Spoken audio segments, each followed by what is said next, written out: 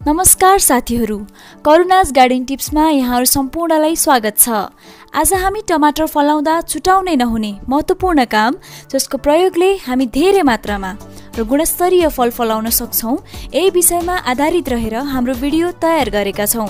Video सुरु गर्नुभन्दा पहिले यदि हजुरहरूले हाम्रो च्यानललाई सब्सक्राइब गर्नुभएको छैन भने सब्सक्राइब गरी नजिकैको बेल आइकनलाई थिच्न भने नभुल्नुहोला। जसले गर्दा हजुरहरूलाई हाम्रो हरेक नयाँ भिडियोको सूचना मिलिराख्नेछ। टमाटर विशेष गरी दुई प्रकारका हुन्छन् डिटर्मिनेन्ट प्रकारका र इनडिटर्मिनेन्ट प्रकारका। डिटर्मिनेन्ट प्रकारका बिरुवामा फुल एकैचोटि फुल्न थाल्छन् र यसको उत्पादन पनि हामी एकैचोटि लिन्छौँ। यस्तो प्रकारको बिरुवामा हाँगाको वृद्धि निश्चित उचाइमा गएर रोकिन्छ। विशेष गरी यस्ता बिरुवा झ्याङ्गिने प्रकृतिका हुन्छन् र करिब चार फिटसम्म अग्लो हुन्छ।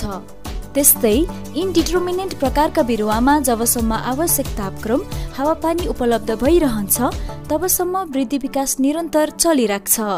यसमा फलको उत्पादन फरक फरक समयमा लिन सकिन्छ र करिब छ फिटदेखि बाह्र फिटसम्मको अग्लो हुन्छ। आज हामी धेरै प्रचलित र धेरै किसान दाजुभाइ दिदीबहिनीहरूले खेतबारीमा र केहीले कौसीमा पनि लगाउनु भएको इनडिटर्मिनेन्ट जातका टमाटरको विषयमा कुरा गरिरहेका छौँ। हामीले राम्रोसँग काटछाट प्रविधि अप्नाउन सक्यौँ भने एउटै बोटबाट धेरैभन्दा धेरै उत्पादन लिन सक्छौँ। टमाटरको बोटमा हरेक पात र मुख्य डाँठको बिचमा मसिनो चोर हाँगा आइरहेको हुन्छ। चोर हाँगालाई अङ्ग्रेजीमा सकर्स पनि भनिन्छ। कतिपयले यसमा पनि राम्रो फल लाग्छ भनेर सबै सकर्स छोडिराख्नु भएको हुन्छ। सकर्समा पनि फल र फुल लाग्दै लाग्दैन भन्ने त होइन तर धेरै मात्रामा सकर्स राखेमा बिरुवामा लाग्ने फल तुलनात्मक रूपमा साना हुन्छन् र गुणस्तरीय हुँदैनन्। यसले मूल हाँगाबाट खाद्य तत्त्व लिन्छ र बिरुवालाई फल र फुल लाग्नको लागि आवश्यक पर्ने तत्त्व चोर हाँगाको वृद्धितर्फ लाग्छ। चोर हाँगालाई सक्दो कम गर्न सकेमा बिरुवाले पाउने सम्पूर्ण तत्त्व मूल हाँगामा केन्द्रित हुन सक्छ जसको कारणले गर्दा हामीले गुणस्तरीय फलको वृद्धि गर्न सक्छौँ। हाम्रो फल ठुलो आकर्षक र गुणस्तरीय हुन जान्छ। चोर हाँगाहरूलाई सक्दो सानो हुँदा नै हटाउँदा सजिलो र उपयुक्त पनि हुन्छ। यस्तो हाँगाको मोटाइ पेन्सिलको साइजको जत्रो भएपछि निकाल्दा ठुलो घाउ हुन सक्छ र पछि गएर यही घाउ नै ठुलो ठुलो रोगको कारण बन्न सक्छ। सानो हाँगाहरूलाई हामीले सजिलैसँग चुडेर निकाल्न सक्छौँ भने ठुला हाँगाहरूलाई सफा धारिलो चक्कु वा कैँचीको प्रयोगले अरू हाँगालाई चोट नपुर्याइकन बिस्तारै निकाल्नुपर्छ। विशेष गरी पहिलो छ हप्तामा चोर हाँगालाई हटाउन निकै आवश्यक हुन्छ जसले गर्दा आवश्यक खाद्य तत्त्व मूल हाँगामा केन्द्रित भई गुणस्तरीय फलको विकासतर्फ लाग्छ।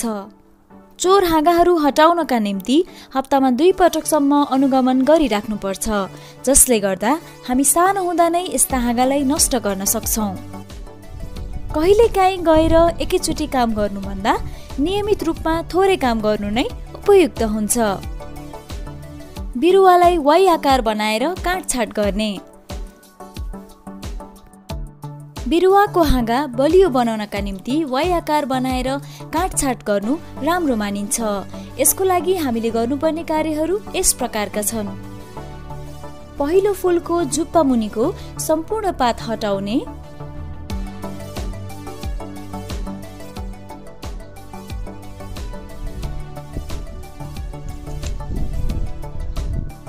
पहिलो फुल मुनिको चोर हाँगालाई राखी यस मुनिको सम्पूर्ण चोर हाँगा हटाउने।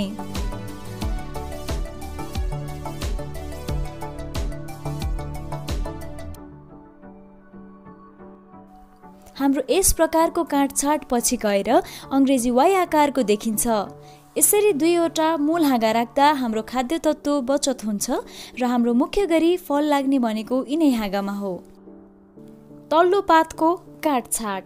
टमाटरको बिरुवाको वृद्धिसँगै तल्लो भागमा भएका पातहरू बुढो हुन्छन् र फलको विकासको लागि त्यति आवश्यक हुँदैनन्। यसका साथै जमिनको सतहको नजिक भएको पातमा रोग लाग्ने सम्भावना धेरै हुने हुँदा फल लागेको भाग मुनिको सम्पूर्ण पात हटाउँदा उपयुक्त हुन्छ। यसो गर्दा हावाको प्रचलन राम्रो हुन गई रोग लाग्ने सम्भावना न्यून हुन्छ। हरेक पटक फल टिपेपछि तल्लो भाग काटछाट गर्न उपयुक्त हुन्छ तर एकैचोटि धेरै पात हटाउनुभन्दा एक दुई हप्ता बिराएर गर्न राम्रो मानिन्छ। इनडिटर्मिनेट जातको टमाटरको बिरुवा लहरी प्रकृतिको हुने हुँदा थाक्रा दिन निकै आवश्यक हुन्छ। यसलाई बाँसको लौरी वा डोरी वा नेटले सपोर्ट दिनुपर्ने हुन्छ। आजको भिडियो यहाँहरूलाई पक्कै पनि उपयोगी रह्यो होला। यस्तै भिडियो हेर्नको लागि र हाम्रो च्यानलसँग जोडिनको लागि च्यानललाई सब्सक्राइब गरी नजिकैको बेल आइकनलाई थिच्न नभुल्नुहोला र हाम्रो च्यानल हेर्दै गर्नुहोला।